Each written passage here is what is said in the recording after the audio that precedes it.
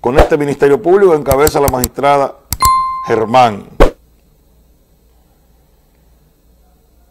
El pueblo dominicano ve al Ministerio Público como los salvadores de la justicia. Sí, los salvadores de la justicia. Aquellos que fueron designados para luchar contra la maldad, para luchar contra los corruptos y luchar contra la impunidad. De eso es que se trata. Y el pueblo dominicano que está cansado, que tiene ansias, que tiene sed de justicia, ha puesto toda su confianza en este órgano representante de la sociedad, que es, repetimos, el Ministerio Público.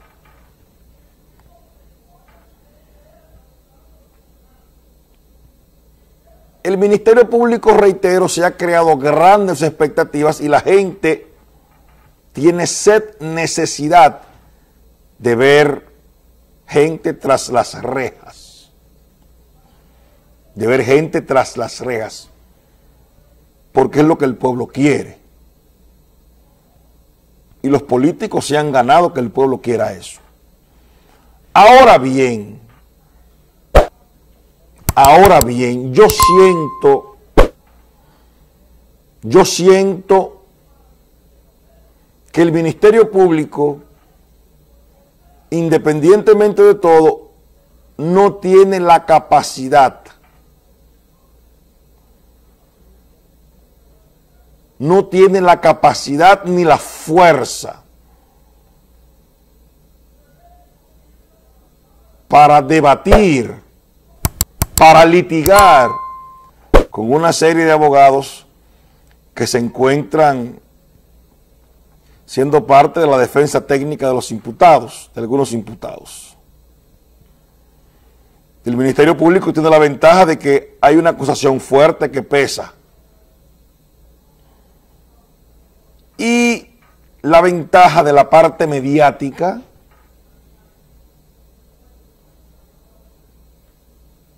de la parte popular que acompaña este caso.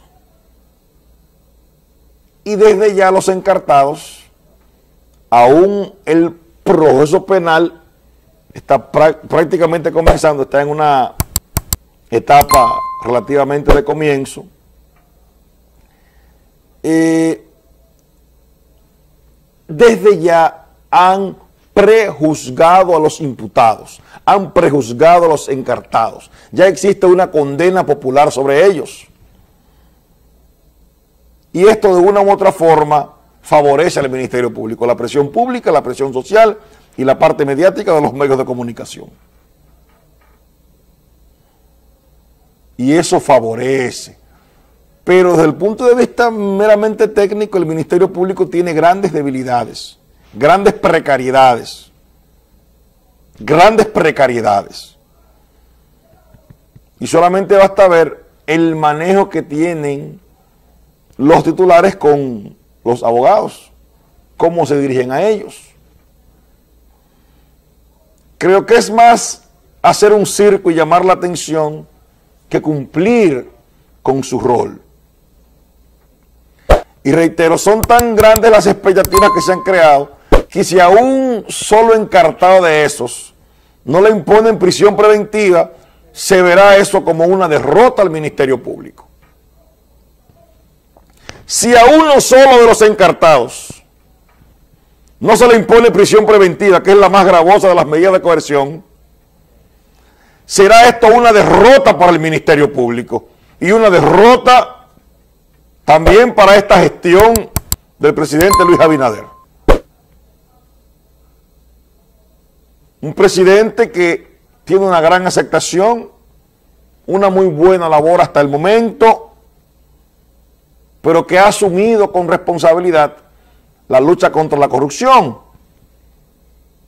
Y ha sido su buque insigne desde la campaña electoral hasta estos días. El presidente se, se ha referido al tema corrupción en cada locución que ha tenido el país. Entonces, este Ministerio Público tiene el deber de hacer quedar bien al presidente. Aunque el presidente diga que este Ministerio Público es independiente, Todos sabemos que al fin y al cabo el Ministerio Público en República Dominicana no lo es. Hasta tanto el Ministerio Público sea nombrado por el Poder Ejecutivo,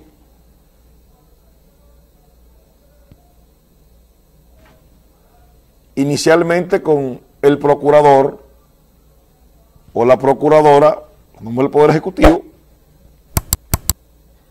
el Ministerio Público no será independiente. Entonces, de una u otra forma, de una u otra forma, lo que pase, el resultado de este proceso, se le atribuye a la gestión gubernamental del presidente Luis Abinader. Si se logra la condena es un logro de la gestión. Si no se logra condena, es una desgracia para la gestión. Entonces es por ello que este Ministerio Público tiene tanta responsabilidad. Tiene tanto peso sobre sus hombros. Por ello yo dije que el Ministerio Público debió contratar abogados para subir el litigio o buscar entre sus miembros en las provincias. Hay muchísimos abogados capacitados, hay muchísimos representantes del Ministerio Público capacitados que pueden hacer un excelente trabajo.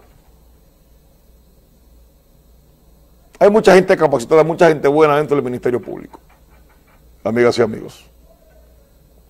Porque es una gran responsabilidad. Se trata el deseo y la voluntad de un país de querer que se haga justicia. Y en esta fase, en esta etapa del proceso penal, lo que se quiere es que a los encartados se le imponga prisión preventiva. Eso es lo que el pueblo quiere. Y es lo que el Ministerio Público tiene que conseguir.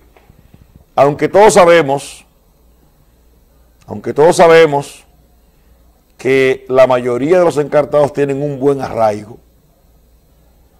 tienen un buen arraigo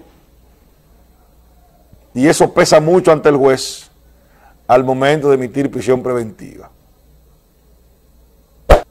Y a estos imputados también se le podría imponer otra prisión, otra garantía menos gravosa que la prisión preventiva. Pero el pueblo quiere prisión preventiva.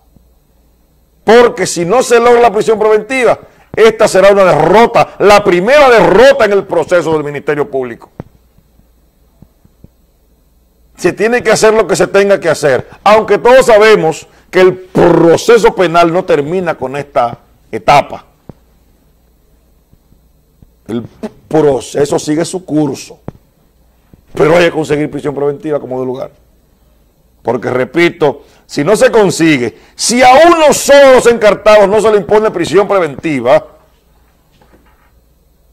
aunque se entiende que el Ministerio Público ya ha negociado con uno de ellos, para que sirva como testigo a favor,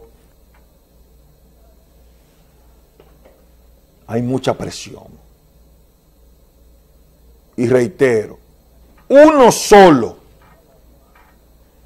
uno solo, a uno solo que no se le imponga prisión preventiva en esta etapa del proceso penal, esto será una derrota fulminante para el Ministerio Público, después de tantas expectativas que se ha creado.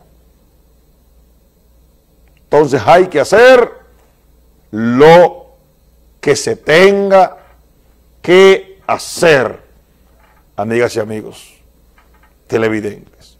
Se tiene que hacer lo que se tenga que hacer. Para que ustedes tengan una idea. Nosotros eh, nos iremos a la publicidad, entonces, cuando estemos de vuelta, tendremos una interesantísima comparación con un gran amigo nuestro, abogado, penalista, que es un experto en el ejercicio del derecho penal, además es político, y él va a analizar con nosotros este proceso y otros temas de interés. Vamos a la publicidad y cuando estemos de vuelta eh, estaremos con la entrevista del espacio.